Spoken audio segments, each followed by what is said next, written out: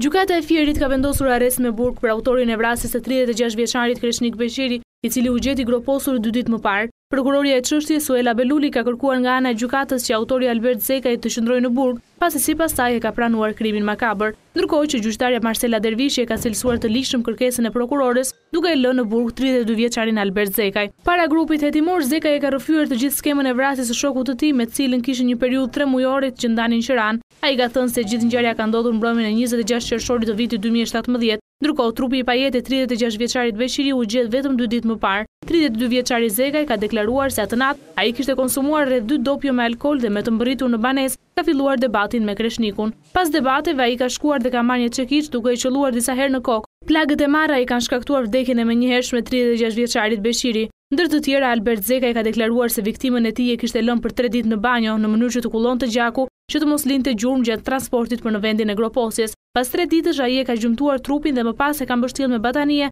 dhe e ka çuar në fshatin Daullas duke e groposur. njëkohësisht, bashkë me të, edhe armën e krimit. Kanë qenë familjarët ata që e kanë denoncuar zhdukjen e djalit të tyre, duke drejtuar gishtin tek personi me të cilin jetonte tridhjetë e gjashtë vjeçari Beqiri. Gjatë një hetimi disa mujor është bërë e mundur kapja e autorit Albert Zekaj. Prej disa kohësh ishte bërë pjesë e një grupi kishtar në kryeqytet ku edhe jetonte. Pas arrestimit të tij, ai ka rrëfyer të gjithë ngjarjen se si e ka kryer krimin dhe vendin se ku e kishte groposur shokun e tij, të cilin e kishte njohur në burgun e Belgjikës.